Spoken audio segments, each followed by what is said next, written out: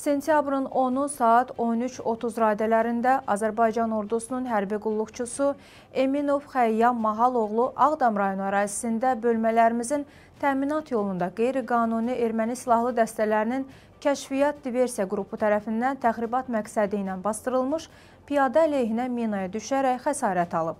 Bu barədə Müdafiə Nazirliyindən xəbər verilib.